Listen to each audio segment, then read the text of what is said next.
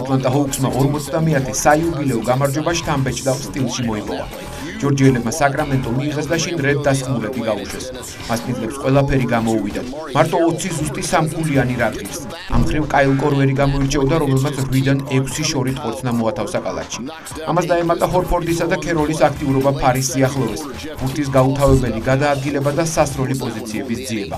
ჰოუქს ისე ავიდა 130 ქულამდე, რომ არავითარი დამატებითი დრო არ დასჭიროებია. საბოლოო ანგარიში 130-ით 105 იყო მასპინძელთა სასარგებლოდ. ვიდრე ატლანტა აღმოსავლეთ წაზანზარებს დასავლეთში გოლდენ სტეიტის ჰეგემონია გრძელდება. ვორიორს მამჯერად ფინიქსს დაწყვიტა გული, როცა US Airways ცენტრში 18 ქულის სხვაობით 98-ით 80 დაამარცხა. როგორც ხშირად ხდება ხოლმე სტუმართა ნადავლის დიდი ნაწილი ეგრეთ წოდებულმა ძმებმა მოიპოვეს. კლეი ტომპსონმა 25 ქულას მოუყარა თავი. სტეფ კარი კი, რომელიც სერიოზულად უმიზნებს MVP-ს ტიტულს და ყოველ თამაში მარაგის შევსებაზე ზრუნავს, 36 ქულის ავტორი გახდა. გარდა იმისა, რომ ჩიკაგო და მემფისი თავიანთ კონფერენციებში მოწინავე ადგილებზე არიან, დაამხრივა მათი დუელი საინტერესო, ძმები გასოლების პაეკრობაც დამატებით ეშხს მატებს ამ დაპირისპირებას.